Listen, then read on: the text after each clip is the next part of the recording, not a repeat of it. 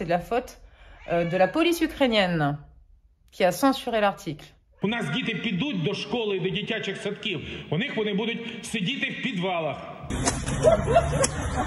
Киевский режим действовал как э, такие вот латиноамериканские диктатуры, которых Америка насадила в прошлом веке большое количество. То есть действовали эскадроны смерти, убивались инакомыслящие, просто убивались.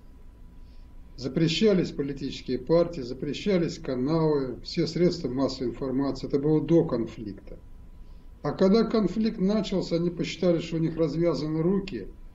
И тот сейчас беззаконие, разгул беззакония, когда, например, члена парламента Дениса Киреева, и, кстати, он был членом переговорной группы, просто взяли, застрелили и тело выбросили на улицу. Вот так. СБУ арестовало его без всяких на то оснований. В процессе, видимо, пыток или что-то, значит, они переусердствовали, ну, выстрелили в голову, а тело выбросили на улицу перед зданием Печерского суда.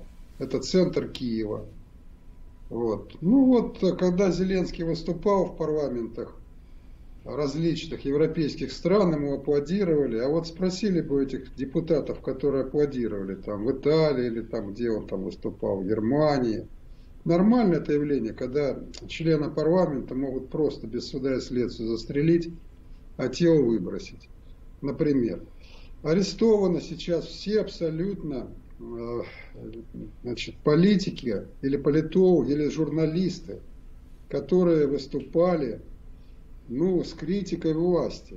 Например, арестована известная правозащитница Елена Петровна Бережная. Она, наверное, такая единственная из всех украинских правозащитников, которая не боялась этого режима, ездила по различным странам, выступала в парламентах, рассказывала о нацизме в Украине, выступала на заседании Совета Безопасности ООН, Бундестаге, выступала в ОБСЕ, ну вот несмотря на ее известность, такую как правозащитница. То же самое СБУ взяла, арестовала, и вот она сейчас сидит в Лукьяновском СИЗО. Арестовали, например, такую известную журналистку, кстати, бывшую журналистку «Радио Свобода» Анну Герман вместе с мужем. Ну, муж вообще никакого отношения ни к политике, ни к журналистике не имеет. Видимо, чтобы ей не скучно было в тюрьме, значит, вот и мужа арестовали.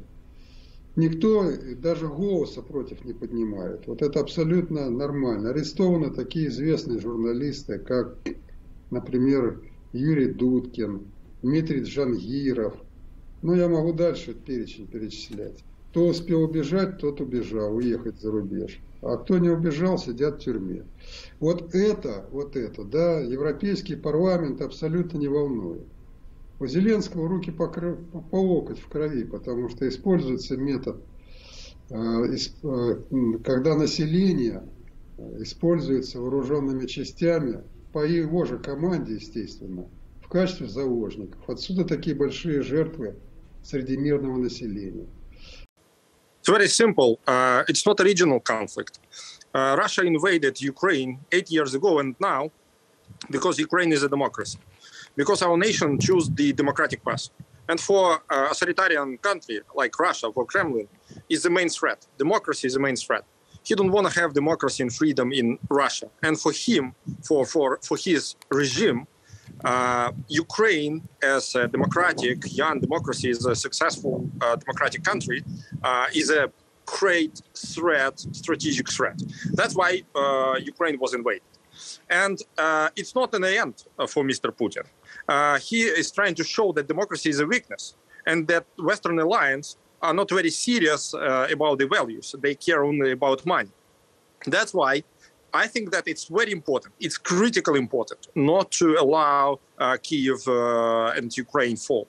Uh, this is an absolutely critical example for a lot of countries who um, now are worried to be invaded by a bigger and strongest uh, neighbors. Uh, to what extent will Vladimir Putin go to achieve his goals? And do you think he could ultimately succeed? I think that uh, Putin uh, will succeed only if we, we are and the Western uh, civilized world uh, stop fighting.